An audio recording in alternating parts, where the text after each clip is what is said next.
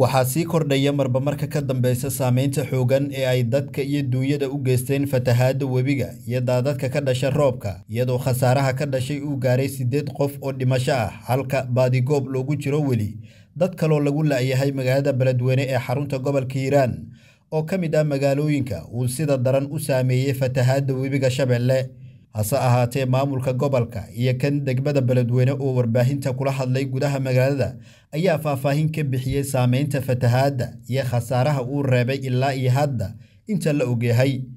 Hadda iskale waxay beledweyne ku sugan tahay laba sano oo xaalad ilaahay xaalkeeda ogyahay ah.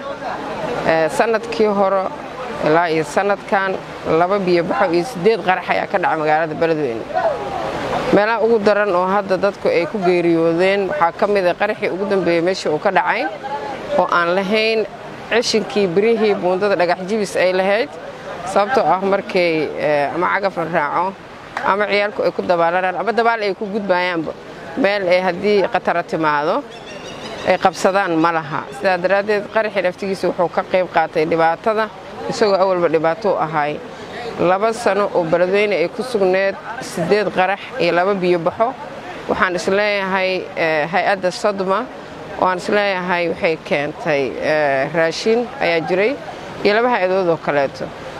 Hay'ado yararoo dadka wax siinayaan way jireen laakiin waxaasoo dhan waxaa ka tiro badan ka awood badan dhibaatada gaartay magaaladan beledweyne. Marka magaalada gudaheedana dadaa ku go'doonsan bannaankeeda dadkii jirayna ilaa iyo hadda waxaan ka warhaynaa cid maaragta gargaar u fidisay hadday bac ahaan laheyd hadday raashin ahaan laheyd iyo hadday gargaar kale ahaan laheydba ma jirto. Waxaan ugu baaqaya hay'adaha samafalka dhammaantood hay'adda sodma ee ugu horrayso inay gargaar bini'aadinimo dadkaas bannaanka u soo u baxay inay la gaaraan. Sababtoo ah kor waxaa ka da'aya roobkii hoos waxaa ka socda biyihii waxaa saamayn fara badan ugu yeeshay qaraxyadii dhammaan inta aan is leeyahay waa nolol ma jirta waay. Magaalada beledweyne guud ahaan afarta xaafadood iyo tuulooyin ku hareeraysan waxaa saameyn ku yeeshtay fatahaadda uu sameeyey webiga shabeelle maalintii taarikhdu ay ahayd bisha nofembar ayaa waxaa magaalada beledweyne yimid biyo aad u xoog badan oo dhanka webiga u keenay oo ka yimid dhankaas iyo etoobiya ilaa buuraha.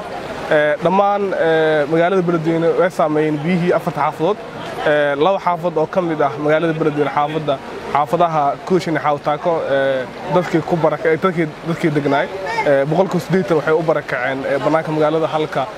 Xaafadaha howlwadaankii buudaweyn ay go'doon yihiin. Inta badan in yar oo ka faa'iidaystay intii wacyigelinta aan wadnay intaysan imaanin biyaha mooye inta kale way go'doon ayay yihiin.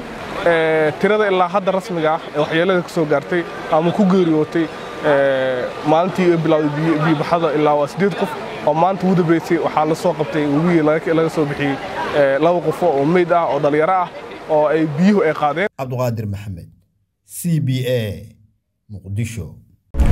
Kani waa bremiyer walad lacag ugu dir saaxiibkaaga. Ugu adeego meel kasta. Ku bixi biilasha. U dir hana lagaaga soo diro meel walba. Ka maamulo akoonkaaga iyo kaarkaaga bremiyer bank. La soo deg maanta oo ku maaree kuna horumari noloshaada dhaqaale bremiyer walad